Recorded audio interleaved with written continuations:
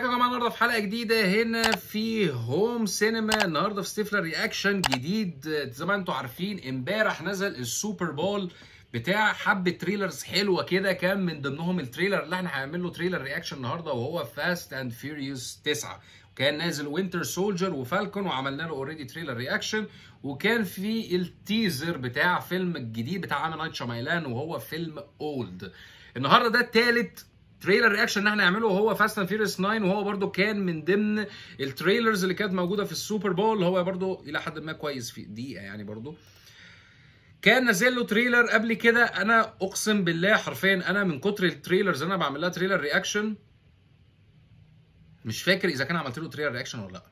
حقيقي يعني. بس أنا فاكر ان أنا ال trailer شفته كذا مرة.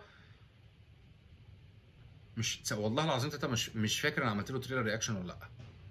مش فاكر لأن من كتر كان بيجي ال trailer بتاعه في التلفزيون أو كان بيجي ال trailer بتاعه على النت وبتاع فشفته كده كذا مرة. للأسف مش فاكر إذا كان عملته ولا لأ يعني بس أنا عارف يعني مين اللي هيبقى موجود لأن أنا فاكر إن أنا اتفرجت عليه كتير يعني كانوا بيجيبوه كتير. فأنا بجد حقيقي مش فاكر إذا كان كنت عملته ولا لأ بجد يعني. ال Fast and Furious 9 هو هو نفس ال cast اللي موجود معانا في كل الأفلام بتاعت Fast and Furious المبالغ فيها. وصل للجزء التاسع. الجزء التاسع يا نهار أسود. هو فين ديزل وميشيل رودريجيز برضه هم هم معانا. الجزء ده لوكاس بلاك. هو لوكاس بلاك ده اللي هو كان اسمه شون تقريبا. شون صح اللي كان موجود في Tokyo Drift. وفي كمان هيلين ميرن وفي جوردانا بريستر اللي هي ميا. نفس الناس هم هم اللي هيزيد علينا بس في الجزء ده. جون سينا ساب المصارعة وهيجي يمثل في Fast and Furious الجزء اللي فات كان فيه The Rock Fast and Furious 8 وبعد كده سمعت ولا مش فاكر كان قريت إن Fast and Furious الجزء الثامن كان آخر حاجة هيبقى ليه علاقة The Rock بيها تقريبا لأن هيبقى موجود في تايريس جيبسون الجزء التاسع. واللي سمعته إن The Rock اتخانق مع تايريس جيبسون وتعارك مع فين ديزل حاجة زي كده. فهو حب إن هو يخلع يعني من الفيلم عشان كده عملوا ال spin-off اللي هو اسمه Hobbs and Shaw اللي كان مع جيسون ستيثم وإدريس ألبا. آه طبعا The Rock مش هيبقى موجود معانا الجزء ده. جيسون ستيثم مش هيبقى معانا الجزء ده. آه إدريس ألبا مش هيبقى معانا الجزء ده. هو هو نفس ال cast list القديم اللي موجود في كل أفلام Fast and Furious هيبقى معانا بس جون سينا. وفكرة إن جون سينا يبقى موجود في الفيلم إحنا ما لقيناش The Rock فإحنا عايزين حد تاني من المصارعة نفكر في مين ناخد مين. آه جون سينا. ماشي هات The Rock مش موجود هات جون سينا. عادي جدا يعني. جون سينا على فكرة بقى بيعمل أفلام جامدة قوي دلوقتي بقى بيعمل أفلام كتير مش جامدة معناها حلوة ما أعرفش ما شفتش بس بقى بيعمل أفلام كتيرة يعني أنا سمعت كمان هيعمل هو اللي هيعمل هيعمل دور في Suicide Squad بس أنا للأسف مسقط اسم ال character اللي هو هيعمله. وتقريبا كمان قبل ما Suicide Squad تقريبا هينزل هيعملوا له spin-off تقريبا صغير في مسلسل برضه TV mini series لوحده وهو جون سينا البطل بتاعه فداخل جامد يعني جون سينا كده داخل زي The Rock آه المخرج طبعا برضو هو جاستن لين هو من وجهة نظري هو أفضل مخرج يعني ممكن هو اللي يخرج السلسلة دي حقيقي يعني. ومعانا الجزء ده على فكرة معانا الصيني اللي كان معانا في الأجزاء اللي فاتت كان اسمه هان. آه كان هو كان المفروض مات في جزء من الأجزاء بس سبحان الله المخرج رجعه تاني. فأنا مش عارف بقى ممكن دي تكون حركة صايعة من المخرج. آه هان ما ماتش. فراحوا مرجعين تاني فهم بقى مش ما تفهمش بقى هم المفروض بيعملوا إيه ولا المفروض ده ممكن ده يكون prequel قبل Tokyo Drift إن هو أنا فاكر إن هو كان مات في Tokyo Drift. وبعد كده عرفنا الكام جزء اللي بعديه أو الحتة الأخيرة دي اللي هو كان مات فيها اللي جيسون ستيثم هو اللي ولع فيه بالعربية. الحتة دي كانت موجودة في Tokyo Drift. فكون إن هو يرجع دلوقتي برضو ده شيء غريب بقى. ده شيء غريب. أنا ما أعرفش فيه إيه بصراحة. فكون إن هو يرجع دلوقتي فهل الله أعلم هل ده prequel قبل Tokyo Drift؟ وهو ولا هو هل فعلا ما ماتش؟ لما العربية انفجرت بس إزاي العربية انفجرت وما ماتش؟ غريبة قوي ولا هو فعلا هرب من الانفجار وطلع ويكمل السلسلة عادي جدا وده sequel بقى عادي مش prequel الله أعلم. أنا مش عارف هم بيفكروا إزاي وده الجزء التاسع وعلى فكرة لسه في الجزء العاشر.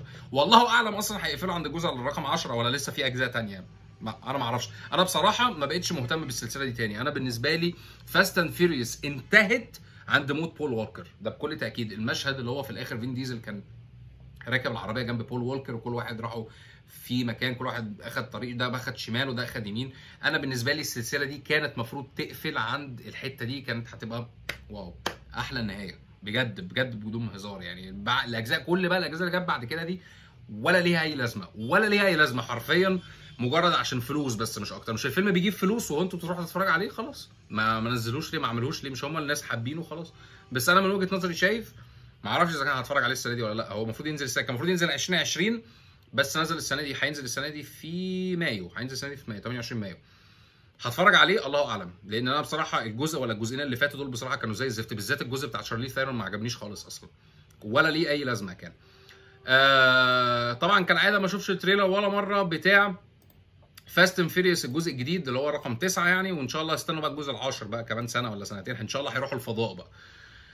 طبعا كالعاده ما أشوفش ال trailer ولا مرة هشوفه معاكم دلوقتي ال trailer الجديد بتاع Fast and Furious الجزء التاسع لأول مرة. يلا بينا.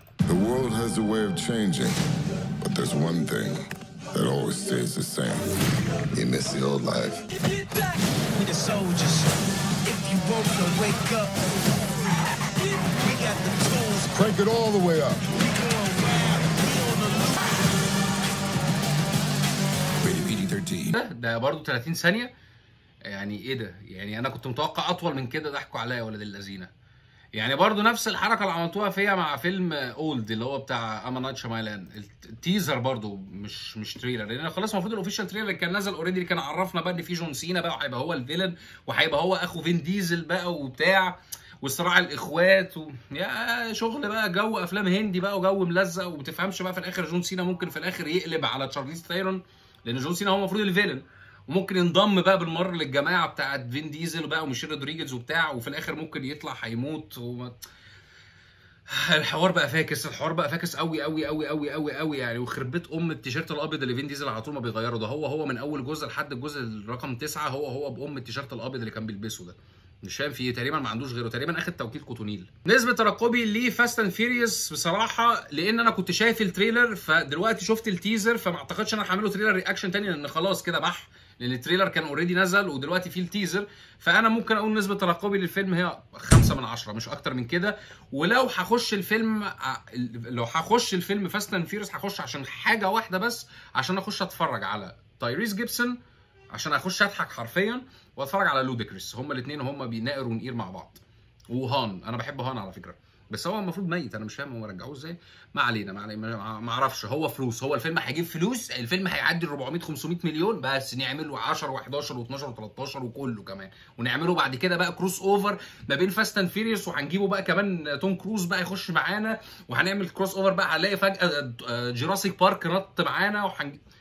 بره عن مش بيجيب فلوس انت تخش تتفرج على Fast and Furious تتبسط ساعتين تدفع فلوس تاكل بوب كورن تتفرج على الفيلم عيش حياتك بقى يا باشا. خد Fast and Fu- خد فين ديزل يا باشا. فين ديزل ده حرفيا أنا ما بقتنعش بتمثيله. بجد فين ديزل ده ما بقتنعش بتمثيله بنكلة زي روك أنا ولا بحب تمثيل روك ولا بحب تمثيل فين ديزل على فكرة. بس بيجيب مش بيجيب فلوس بس. بس ما عنديش أي حاجة تانية أقولها عن ال teaser بتاع Fast and Furious الجزء التاسع. أتمنى الحلقة تكون عجبتكم. إن شاء الله اشوفكم في فيديو تانية قريب. ما تنسوش تعملوا subscribe و like و share لو الحلقة عجبتكم. ما تنسوش برضه تعملوا subscribe لل channel التانية اللي اسمها Home Alone هسيب لكم ال link بتاعها في ال description ولو حابين تعملوا لي follow like على فيسبوك وتويتر وإنستجرام برضه هسيب لكم ال links في ال description و bye bye.